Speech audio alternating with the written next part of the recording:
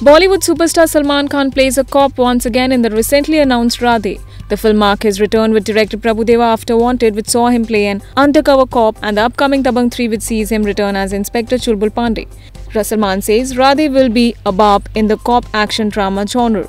Uh, was actually in Tere Naam, and then after that we used the same name in uh, Wanted, but this is a completely different uh, film altogether. It's got nothing to do with Wanted. Agar बोलना चाहें अगर वो format में जाएँ तो ये Wanted का बाप है Salman said about his upcoming film while interacting with the media at the trailer launch of his next release, Dabangg 3.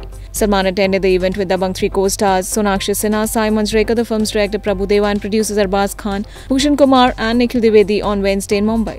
Radhe scheduled to hit the screens on Eid next year. A few days back, uh, no, no. Uh, so we, uh, if we'd have uh, announced uh, Radhe on its own, फिर वो दबंग you know suddenly gone Radhe Radhe Radhe Radhe Radhe and Dabangg would have you know be um, थोड़ा सा पीछे आ जाता है तो दबंग से start किया और राधे पर हमने जाके फिनिश किया There have been reports that Salman's Bharat co-star Disha Patni will be seen sharing screen space in Radhe, but the news is yet to be confirmed.